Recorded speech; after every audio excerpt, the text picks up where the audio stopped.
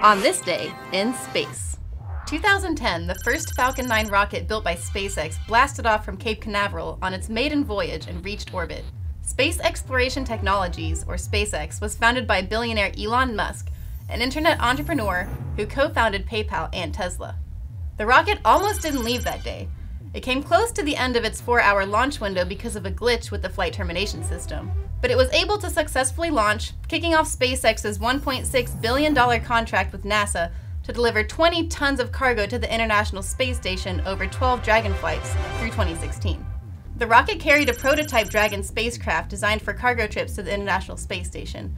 SpaceX began official NASA delivery flights with Dragon and Falcon 9 at the end of 2010. And that's what happened on this day in space.